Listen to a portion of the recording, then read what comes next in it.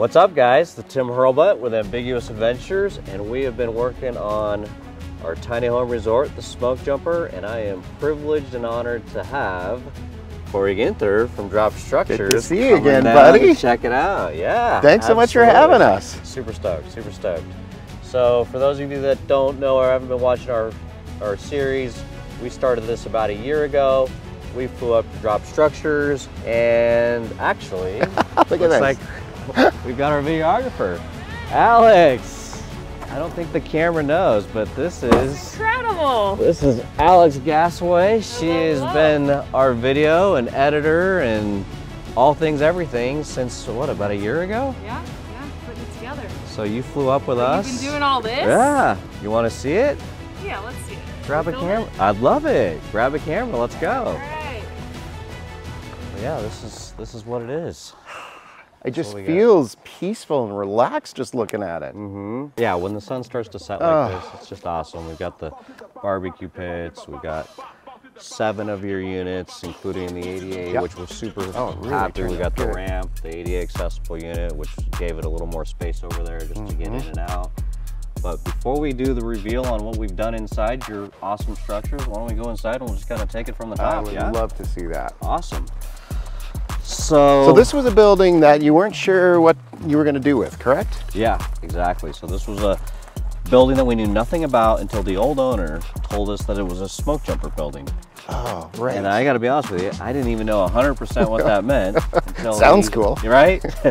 until he explained to us that the smoke jumpers, who are firefighters, they go where the cars and trucks can't go, and they literally parachute in to fire, Ah. you know, where there's massive fires, and they're the first troops on the ground, basically. wow. So this old building that we're going to walk into that still needs some work. Thank you. Uh, thank you. It still needs some work is basically uh, what this building was, and we're just super stoked that we kind of have the opportunity to preserve it. Yeah, it, have the history. This is turned into the warehouse, Okay. actually. Well, fair and enough. It's shipping and receiving literally every day. Once your structures came in and just understanding what we could do and not do, we decided to make this a common area laundry room. Love it.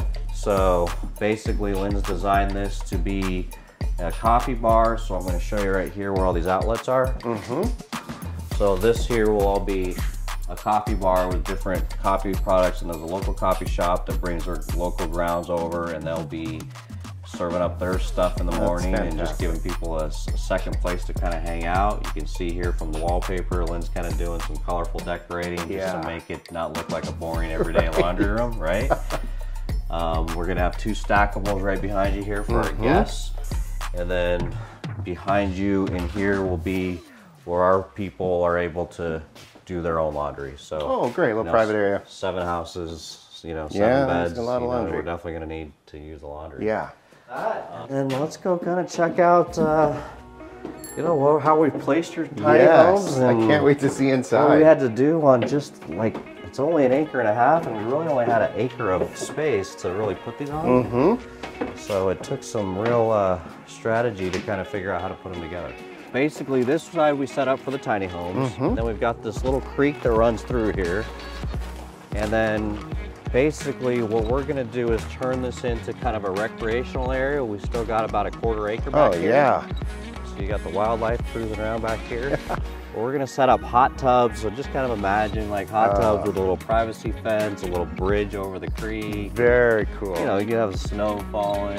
Oh. You know, so like I said, we're kind of looking forward to this. yeah. This would be like a next year project? We're it may be this winter. Okay. Um, we need bookings, right? So Yep. it might be this. Yeah, fair No, it enough. might be this winter, but no, we're, we'll get to it sooner than later. And like I Mhm. said, we'll just kind of, as we've done a lot of work to the site, we're gonna let a year go by just to kind of see Sure. how things settle out. But I think sometime by spring next year, Yeah. we can hopefully get to this. What a nice addition that'll It'll be, it'll just be cool to have that secondary Yeah. space. I love the bridge idea going over yeah, too. it'd be cool. Yeah, be cool. absolutely.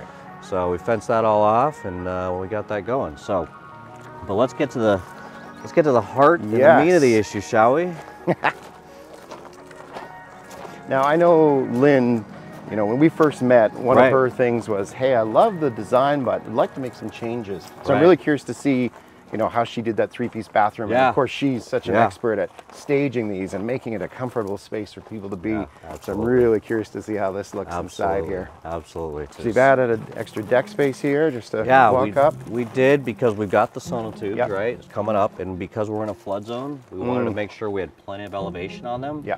Obviously, with plenty of elevation, that means coming from where we are, we had to kind of buffer that a little bit. Mm -hmm. So we kind of ran a secondary deck, which is actually cool because people kind of sit. Yeah, there, they take their shoes off, you know, they can kind of do the pre-deck stuff, right? And then they kind of climb in. But yeah, then we've got a little bit of the thicker gravel, so you know you're not bringing the pebbles Yep. in and just kind of all that. But yeah, let's Well cruise in. done. Let's cruise inside. First and foremost, we got to make sure the pets are taken care of, right? We got It's the little things. we got the little doggy bags that Lynn has made sure we're all set up.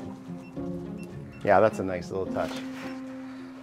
And then with that, we will cruise inside. Oh, look at this. Oh, man.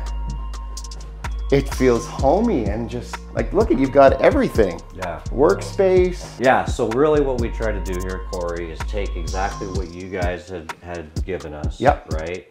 And try to figure out how could we incorporate as close to residential living with as few compromises as possible. And I think for us, what that really meant is we wanted to have sleeping capacity for not just two, but for four people. Yep. So we spent the extra money on a really good sleeper Oh, sofa from Room and Board. So it comes out. There's no springs. There's nothing. Simple. You know, it, it comes out real nice and has its own full size mattress inside. Oh. So, um, so you've got your kind of living area, and then if you can see here, we've got our TV, smart TVs. We've got our own Wi-Fi, so everything is very functional. But then you mm-hmm. can still have your little fire, which Yeah. I think is a little different. I think your fireplace Typically it would go there. Yeah, but you know what? I really like the idea of having the desk in front there. we did that so we could kind of have that tucked Yeah. away. Someone could still work and not feel like they're in the middle Yep. of a space, right? Because let's be honest, most people are going to bring the laptop and still have to do some work if they're coming to relax. Exactly. And we're working with our partner Grovemade to kind of do our desk setup so they're not in yet. But those are desks from Modern Dash I think they're really nice how they just kind of sit up against that, Yeah. wall and you don't have legs. Looks natural, like it was always meant to be there. Yeah. Well done. Thank you. Uh, the tables, right? It's always a challenge. Yeah. So we put these little dining tables in uh, from West Elm, and these are just you know good little guys you can move around, swivel around. Yeah. It still provides enough space to eat if you need to eat. Yep. Um, but yeah, being able to just kind of watch the fire while you're watching TV and Perfect. you know have everything going on. Um, I kind of wish we would have talked about this prior to, but it all worked out. But yeah, we cut countertops, we cut into these.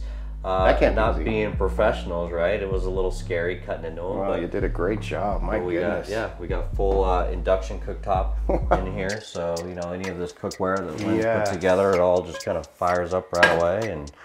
You're, you're good to go. So it all induction's immediate, right? Yeah. So as soon as you stick it on there, It's it's, on. it's fired.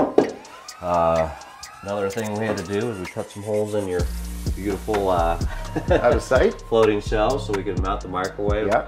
It- we thought about putting it here, but just when you're Yeah, running, talking about cooktop space, space, and just yeah. needing some space, uh, you know, we felt like we wanted to leave this open.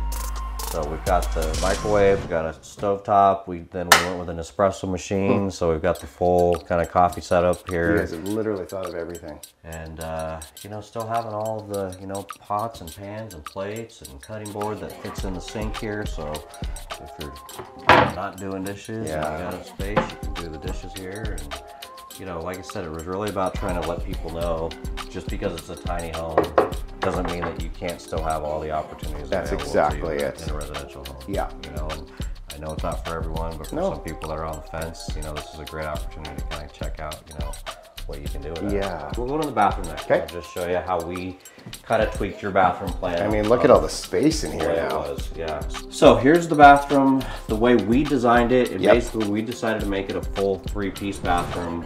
As in, I think we added the sink vanity here, Correct. which was not Yeah. here necessarily. Right, because normally this would be a hallway going here. We had that back glass where you could add a door. Exactly. I really like this. Like you have so much space. And if you recall, Lynn's concern is for a guy, maybe it's not that big of a Right. deal, but to be able to just walk out and walk around, kind of a hassle. Here Right. you've got the three piece. Yeah, You that's take off your makeup, you can- right? But just you know, you're brushing your teeth, Yeah. and you have to not back walk back around to the, the kitchen, and you know, it's just kind of it, it's its own privacy. And, Mm-hmm. You know, we got the pocket door, so we can just dogs. You know, gonna finish talking business or whatever it is, right? And then we've mounted, uh, you know, into your tile, we did a nice kind of uh, body wash shampoo conditioner for short-term rental. It's much easier to kind of refill them as you go than Yeah. it is to have to, you know, do each one at a time. It's not so much waste. What do you think how the glass doors turned out with the hot shower? Yeah. Such- and that's the one thing I will say, Corey, is I have a fit and finish, and all the vendors you use to kind of complete these is super nice. Good. I mean, all the bathroom hardware turned out excellent. Well, we don't want to use cheap, right? Right. Cheap is not attractive. Right. right. And these are not cheap to begin with, and we don't want them to be No, cheap, right? exactly. And I get a lot of people that say, "How much did you pay?" And you know, we share that number, and it sounds like so much, and then they walk inside and they see it, Wait a and, minute, it and it starts to become Yeah. way more re- understandable of why this isn't, you know. Ten thousand dollar Right. It's not a shed. Just the glass alone is thousands of dollars. That's right? exactly it. So speaking of glass, I I've get been so looking at this, my excited. friend. You know what I'll do? I'm gonna leave you inside here Okay.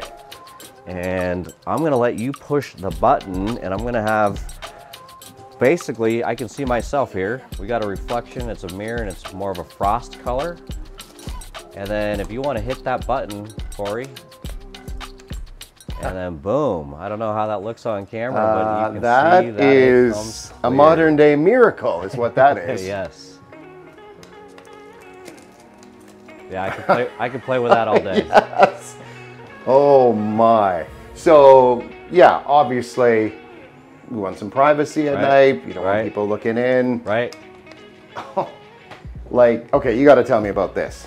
So what we really struggled with in understanding, you know, tiny space new for us is we just didn't want to clutter the, the Yep. place, right? We really wanted to keep it minimalist.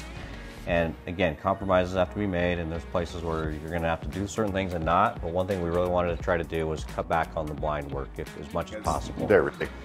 Exactly, and it's, and it's not just the cost, but by the time you got a rod coming and you got Mm-hmm. curtains and you're trying to kind of clean that desk area and the sentry area and all that stuff, Yeah. basically this is what it is so we can cut it exactly how you want it we can send these raw sheets that you know we can and it applies fairly i mean it's a little extra step but it's a Yeah. lot like window tint Sure. so it just you know you lube it up get it on there and uh, as long as you know how to do that part of it uh, but then the runs you know we still kind of experimented but you can see for the most part you have very few runs Not and if we would have kind of done it from the factory and knew we would have, we could probably even have coordinated that to be even Yeah. completely seamless. But even in the sense of the way it is now, then I think it, it turned out really cool. I would say so. I would just say our guests think it's the coolest thing. know, it's just Okay. uh, they, they don't even at a Hyatt they're not going to see smart glass. It was a good learning experience. That's an awesome upgrade. Yep. Then let's talk about your bed. A lot Yeah. of people don't know. They always wonder what size bed it is. Is it queen? Is it full? Is it twin? Right? But uh, it's a California king size bed we got in there. You know, when we designed it, that was something that was super important to us. We wanted to be a comfortable space, a place, even if you're not sleeping, just a place to hang out, read a book. Right. And as you'll see, right, you have Right. that, you know, you added the skylight, Yep. opening skylight. We added the it comes with a blind, which is nice. blind, yeah. And that blind, that blind comes from Velux, which is the manufacturer of the windows. Yeah. So it, it's a it slides up and down. It can open from both sides. It can slide all the way down, So slide all the way up, and uh, as you know, your windows pop all the way open. You can watch the stars. I've had Yeah. guests that have taken pictures of the stars, and you know, it just it's it's And then really egress too, right, for safety concerns. Exactly, exactly, exactly.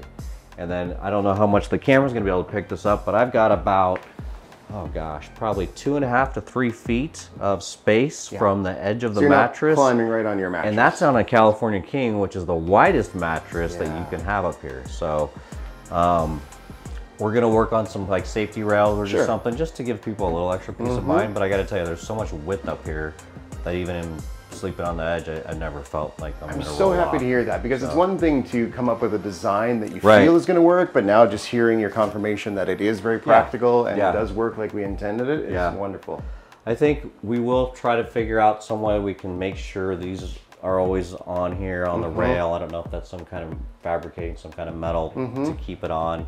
Not been an issue at all, but you know that's probably the only thing that I'd like to try to figure out a little bit. But Yeah. other than that, I mean, it just and the fit and finish is just super nice, right? It all is that light, modern, airy Yeah. feeling that you know we went with the lighter floor, the lighter planks on the on the flooring, and it just I think it came out super awesome. It, I cannot wait to come stay here with myself and my family. it's going to be awesome. We'll take you outside. We'll show you kind of what we've done on the common area just to kind of make it, you know, And you know what, really what we wanted to do, Corey, is we just kind of wanted to take camping to the next Yeah. level, right? We didn't want to lose the, we didn't want to just have tiny homes, right? Mm-hmm. So, you know, we kind of put in, you can see here, we put in chairs and a solo stove with a cooktop Yep. on there.